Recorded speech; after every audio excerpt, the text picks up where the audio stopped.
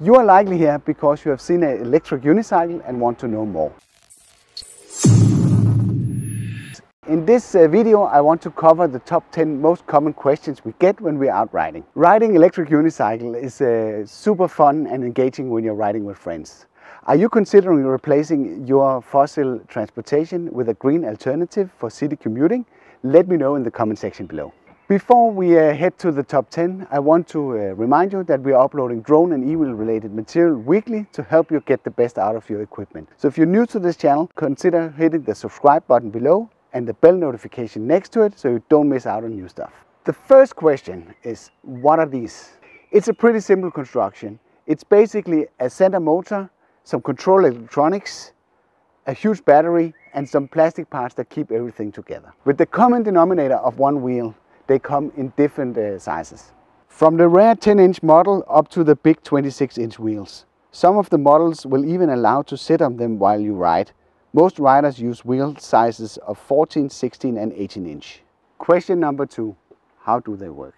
The electric unicycle is based on gyro stabilization. This means that the wheel will always try to keep up when you shift your weight. So if you shift your weight to the front of the wheel, it will try to move forward.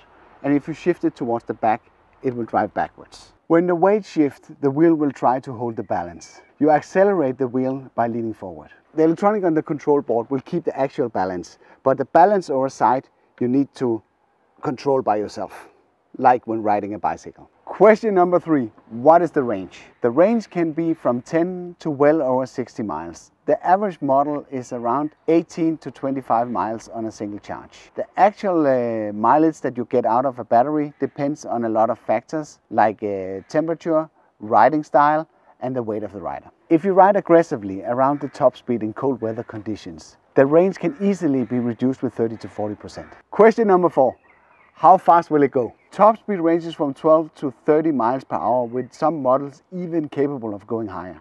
Every unicycle has a maximum specified speed. It's not recommended to approach this top speed as this can cause the motor to cut out and the consequences can be fatal and cause massive injuries. Safe riding speed depends on battery level, temperature and rider weight. Some manufacturers have introduced uh, limitations uh, to the speed when the battery level get below 50% to protect the rider. Me personally, I never ride faster than 20 miles per hour, even if my wheel is capable of doing 30. And I always wear full protection. Question number five, is it difficult to learn? Like any new thing, there's a learning curve. Remember back when you had to learn to ride a bicycle, it also took some time for you to get used to. Most people will be able to learn this within a couple of days with some dedicated training. It almost feels impossible in the beginning, but once you get the hang of it, it's hard to remember how difficult it was to learn. Once you get better, you can expand your skills with trick riding. Question number six, how much do they cost? For a quality model, you have to spend around $500 to $1,500 depending on your need for speed and range.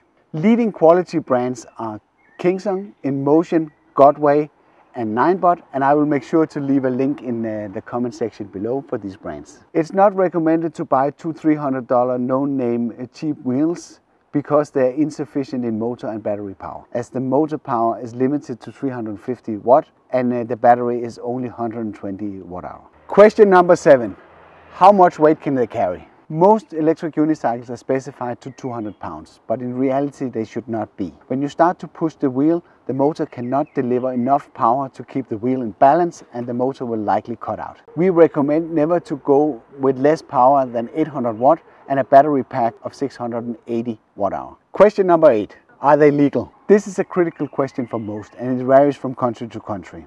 Unfortunately, the law is not 100% clear in most countries. Only a few places allow them, where Singapore is the one that has the most liberal rules. Make sure to always check up on the local uh, rules in your country. Question number nine. How long does it take to charge? With a small battery pack of 680 watt hours, it takes around five to six hours for fully charged. You can buy superchargers that will help you reduce uh, the charging time with up to 50%.